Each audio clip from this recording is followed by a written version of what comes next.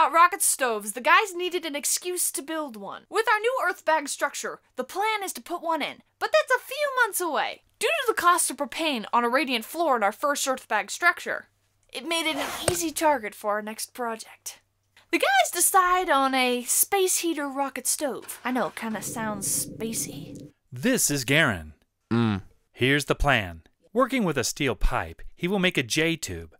The idea is to build a fire in one end of the tube where the heat and smoke will exhaust out the other end. A draft from the exhaust will force the fire to burn sideways up and out of the pipe.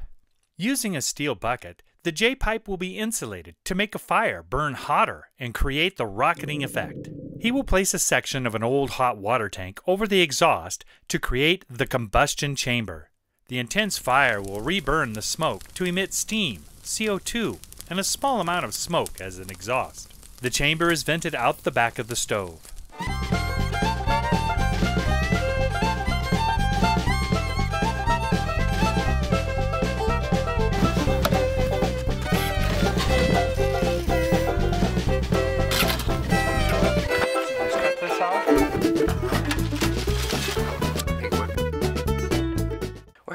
Hard time testing with all this wind, but I say it's working. A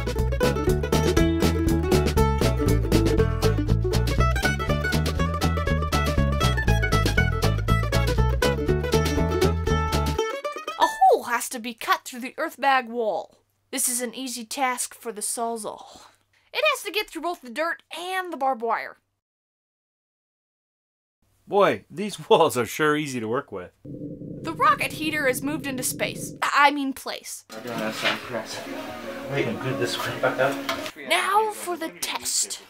One small step for mankind. One giant leap for the Homestead family. Ah, I can't do this with my eyes. Nope, no fan. Okay, so the first run of this was kind of a bust. We had lots of smoke. Uh, we had a great deal of problems with the draft, so I'm going to take it back to the drawing board and take another look at it.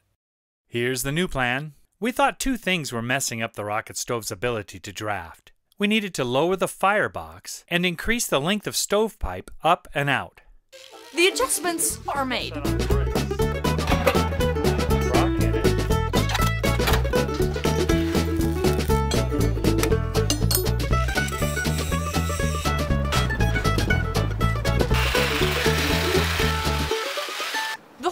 Made higher this time to allow for a higher exhaust.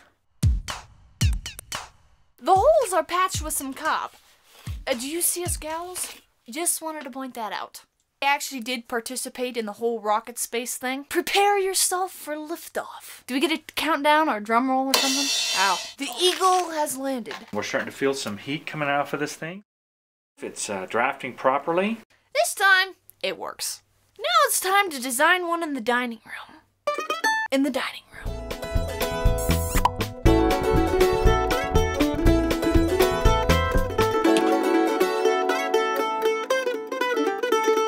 The boys needed an excuse to build one.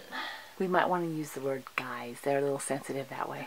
Uh, is, not was, as we haven't done it yet. this is ridiculous. Okay. Testing? Is this thing on? and now do a Z inside your mouth. Ma, Dad's having me do baby sounds.